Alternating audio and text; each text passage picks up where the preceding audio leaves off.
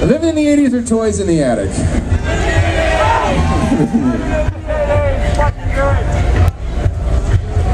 yeah. How many of you people are in a rock and roll band?